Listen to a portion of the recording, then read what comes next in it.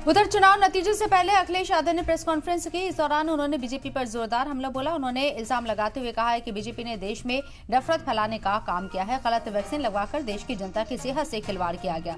चुनाव बॉन्ड में घोटाला हुआ है। बीजेपी की सरकार ने विपक्षी पार्टियों की सरकारों को गिराने का काम किया है। कैमरे के सामने भी नतीजे बदले गए हैं।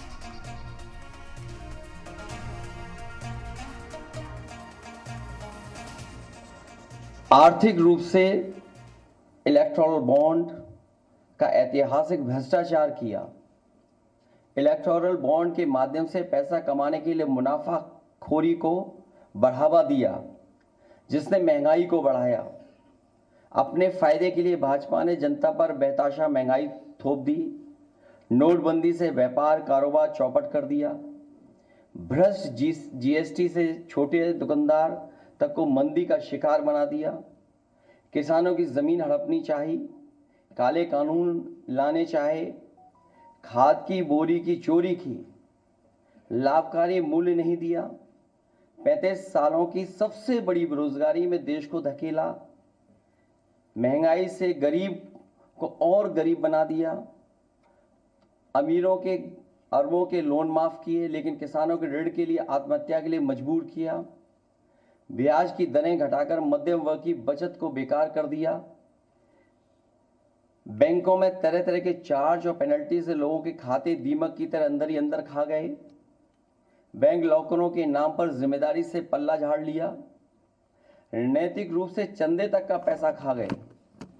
केयर फंड के नाम के आगे पीएम के नाम का इस्तेमाल करके बाद में हिसाब देने से मना कर दिया। अपराधियों को शामिल करने, उनके कृत्यों पर पर्दा डालना। जैसे मणिपुर में अपने संगी साथियों द्वारा बेटी के साथ मानवीय व्यवहार में बीएचयू छात्र अभद्रता कांड में, खीरी किसान हत्याकांड में, हाथरस की बेटी के बलात्कार, हत्या व कानपुर देहात कांड में जहाँ माँ बेटी को झोपड़ी में ज़िंदा जलाकर मार डाला, ऐसे अनगिनत उदाहरण हैं कि जितनी ऊंचाई पर जाकर कटती है पतंग, उतना ही बड़ा होता है उसका पतन भाजपा कई दोषों के लिए जिम्मेदार है। सामाजिक रूप से भाजपा ने देश में सौहार्द बिगाड़ा व भाईचारा खत्म किया।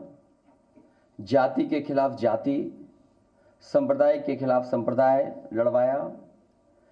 संविधान द्वारा दिए गए आरक्षण को साजिशन खत्म करने के लिए बेरोजगारों से छल किया।